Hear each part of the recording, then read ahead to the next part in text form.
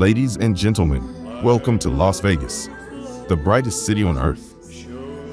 The Westgate proudly presents February 29th, for one night only, Angelina Jordan, the Barefoot Princess, the Queen of Jazz, with two performances, 7 and 9.30 p.m. Angelina will grace the same stage as some of the greatest performers ever. Barbra Streisand, Liberace, Tina Turner, and the King Elvis Presley. The Westgate is honored to have Angelina Jordan, perhaps the greatest talent of all time. Great seats are still available for the 7 and 9.30 p.m. shows.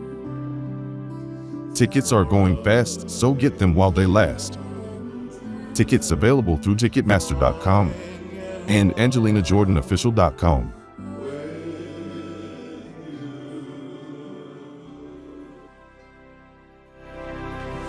Bye.